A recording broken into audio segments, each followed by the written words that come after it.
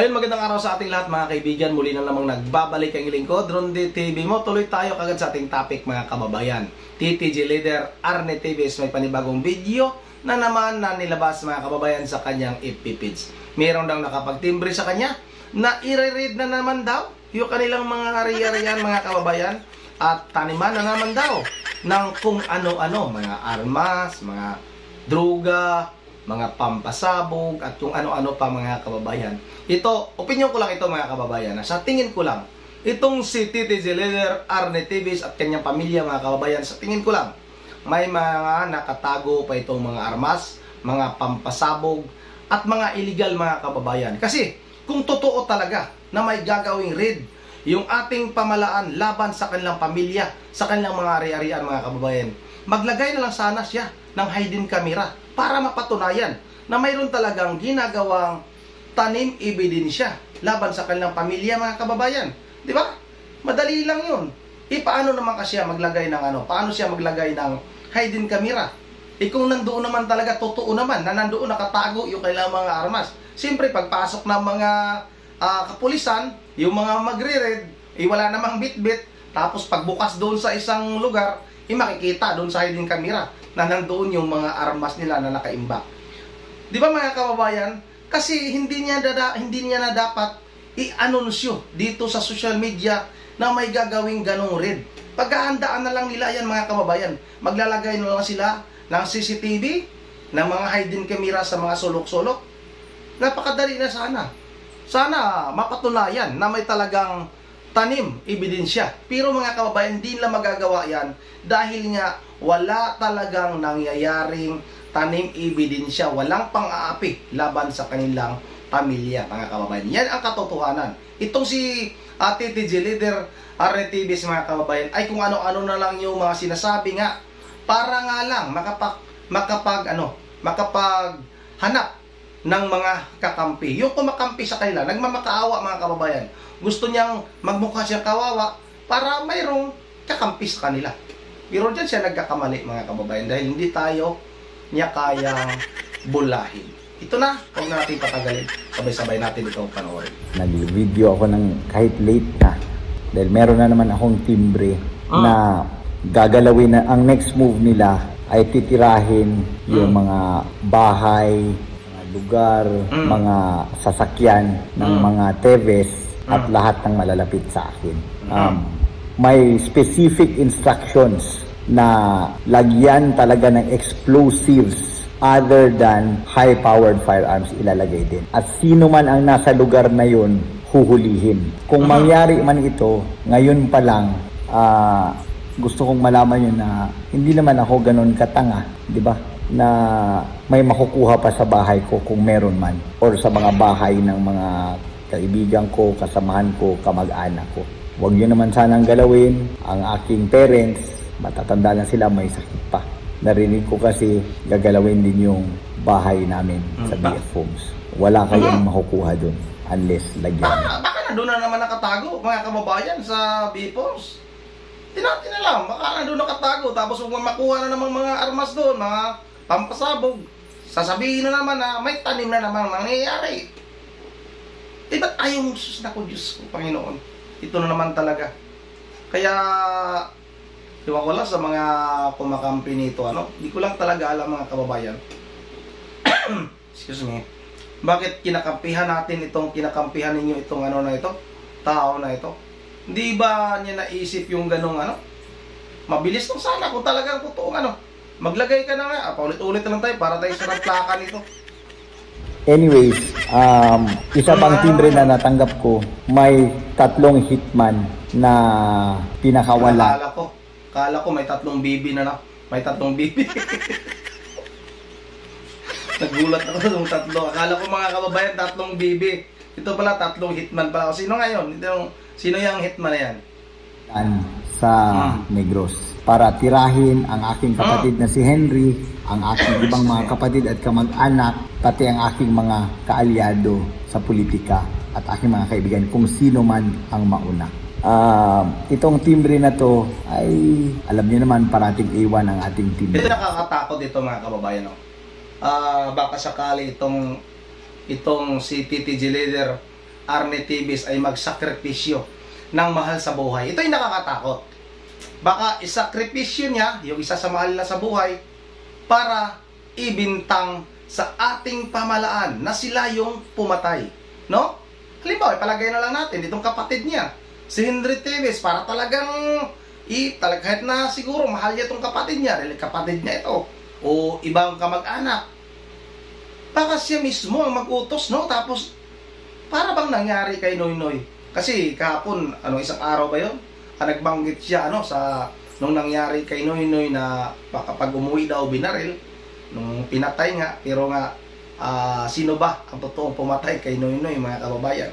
Ay, kay, ah, kay Ninoy. Sino bang totoong pumatay? Ito yung nakakatakot, mga kababayan. Magsakripisyo siya, palagay natin yung kapatid niya, para lang ibintang sa ating pamalaan, para makakuha ng atensyon, makakuha ng kakampi sa ating mga kababayan. Kasi lagi rin itong lagi rin itong binabanggit nito si TTG leader Arnett Tivis na ito na handa siyang maglakad sa EDSA mga kababayan. Handa siyang umalsa laban sa ating pamalaan yun naman, ito ang bantayan natin mga kababayan. Kasi itong si TTG leader Arnett Tivis ay meron itong utak na maka hindi natin sabihin na yung si sa, sa taas si Satanas mga kababayan. Pag na nasa masama ka na kasi wala ka nang wala ka nang iisipin na kapatid mo ba yan kamag-anak mo ba yan basta lang magawa mo lang yung gusto mong gawin. Yan ang bantayan natin mga kababayan. Huwag tayong magpa, magpalin lang So, ngayon pa lang inuunahan ko na. Dahil ba malapit sa gobyerno itong aking mga katunggali sa politika, kaya kaya nila itong gawin. Anong klaseng gobyerno na ito kung mangyari man? Again, nag-video ako kahit gabi na dahil ayokong mahuli. Baka kasi bukas gawin na nila kaagad itong mga to. Sa aking mga kamag-anak, aking mga kaibigan, humanda kayo sa kanilang next move. Hindi ko man kayo matawagan lahat, kaya ginawa ko na rin, minarapat ko na gawin dito sa social media na magpaalam sa inyo ang timbre na natanggap ko kani-kanina lang. Again, tayo ay mag-ingat at mga palangga, tandaan nyo ang aking sinabi na ito na naman ang susunod nilang plano. Pwera sa mga bahay at mga lugar, pati mga sasakyan, may specific instruction sila na lagyan ng mga illegal na bagay sa lahat ng mga lugar namin at sasakyan other than explosives at firearms palagyan din ng droga. Yun yung specific instructions nila. Grabe na talaga to. Sobra na yung, yun yung ano, persecution. Too much. Alam niyo mga palangga kailangan nila gawin lahat ng ito. Hindi lang para mas lalo kaming madiin at masira yung pamilyang Teves at mabigyan ng daan ang pagpapaupo sa kanilang mga kasamahan. Isa pa nitong pakay nila para matabunan yung mga balita lalo na sa Okada case na final sa Amerika na nasangkot si Martin Romualdez. So, kailangan nila itong takpan ng mga bagong balita kaya gagalawin na naman kami para meron na namang pang-cover na headline. Hindi na sila yung magiging center of attraction. binaliktad patuloy mga kababayan pang pang cover daw dapat ikaw nga dapat ang ano eh kasi talagang ikaw dapat talaga ang nasa ah, unahan lahat ng balita dahil nga idiniklara ka na na ah, terorista. Tapos yung pagpatay nyo kay ah, dating Gobernador Ruel Digamo at yung pang-aagaw ng mga lupa huwag mo namang baliktarin. Talaga naman oh, binabaliktad pa para pang ikaw pa yung nagiging naging kawawa dito. Talaga naman mga kababayan ano bahala na rin kayong humusga dyan. Yung ah, sinasabi ko lang na ah, bantayan rin natin ito. Baka magsakripisyo ito ng isa sa kanilang pamilya para nga ibintang sa ating pamalaan. Kung may mapatay man sa kanilang pamilya kasi nga pinabanggit niya na may tatlong bibi daw. Ay hindi. Tatlong tatlong hitman pala. Tatlong hitman daw na pinakawalan dyan sa Negros para ah, may ah, papatay nga daw sa kanilang sa kanilang pamilya mga kababayan. Mag-ingat no, magbantay tayo, huwag tayong magpalinlang sa mga ganitong klaseng tao mga kababayan. Yun lang, hanggang dito na lang muna, ano, at ah, bago tayo magtatapos, ah, mag-shoutout muna ako. Shoutout kay uh, Ma'am Berje Barrel, di Diyos ng Pulilan, Bulacan. Kay ah, Ching Yi Yao. At kay mayroong mga bagong nagkomento dito, no? Kay ah, Ricardo ah, Torion. Ubusin na lahat ng hitman ni Palangga para siya naman ang ah, bangungutin. At shout Idol ah, Robert Tawada ng El Nido, Palawan ha. Nakakasuka na manood kay TV sa sa, sa social media no, si Ronde. Ah, shout out kay ah, ah, Iniego Bil Bilyasiran. Palusot na naman ni Tibes tanim yan sa ta- tanim yan si Mayagma. Hindi nga niya mabanggit, banggit si Mayagma mga kababayan. Excuse me, may ubo tayo ah. Sinsya na ah. John uh, Paulo Reyes, shout out, Langga uwi na. Shout out kay Giske, Gise, Giselle uh, Bantoto. Nag, na, nagmamakaawa na yan kahit sino ah, na lang pinagbi, pinagbintangan. Shout out kay Lovely ah, Talarion. Ah, panig kami sa katotohanan. Yan ang sabi namin. Salamat, Lovely Talarion. Ine Anigo, ah, tapos na ito. Shout out kay Kama ah, Ros, ah, Kamarol Saman. Nagbuhat ng bangko si Animal. Shout out kay Edwin Limos. Lagi na lang paranoid. too much um, too much meat on the system. Hindi na yata natutulog. Ay lumabas na, tiga lang. Sa sobrang ah Shabu. Yan ang sabi naman ni Edwin Limos. At Chato uh, to shout out tama na po tama po kayo. Domingo hadap ah, kapag kasi sinubrahan ang kaginhawaan galing sa naka naka at illegal na gawain asa na yon paghati ang katumbas niyan pighati pighati pala sorry pighati ang katumbas yan sabi ni Domingo Hadap Ah, silong ako sa shout out idol ha. Ah, lutangon na lang TTG lutangon. Ah, EEA, wag na ho. Pakinggan yan. Mabibilog na lang lang ng ulo niyan. Ah, nambubula bolero talaga. Ah, sila ha, bolero talaga eh, sabi ni AEA.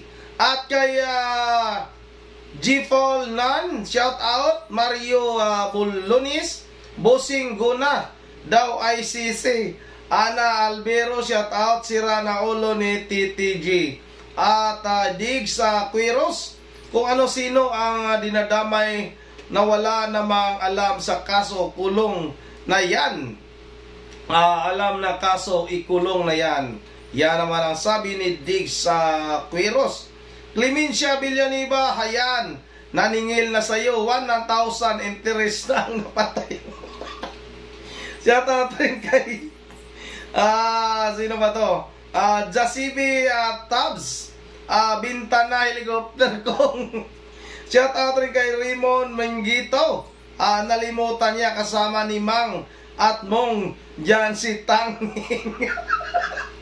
Tanging, TTG ka. Nako, biruin ng mga kababayan, nakapicture lang niya yung mga Chinese, no? Yung si Tang, tapos si Ing, tapos si...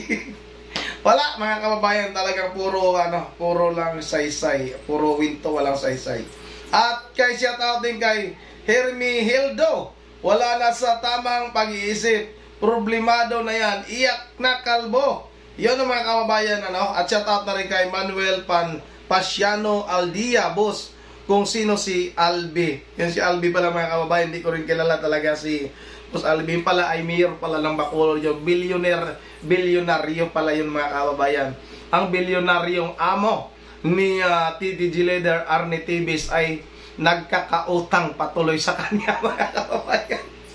Yun hanggang dito na lang muna ano at uh, shout out na rin kay Idol Teddy Bear. Maraming salamat sa info ha. Di ko talaga, wala talaga akong idea tungkol dyan kay uh, Albi, no? Binitis, no? Ah, talaga, ito, yan pala, ang mayor ng Bacolod, ah, sorry, Bacolod, mga kababayan, na bilyonaryo. Bilyonaryo ha, nagkakautang sa isang TTG leader, Arne TVs, at siningil na nga mga kababayan sa social media. Yun hanggang dito na lang muna, ano, at once again, this is Ronde TV mo. Ingat ang lahat. God bless bawat isa sa atin.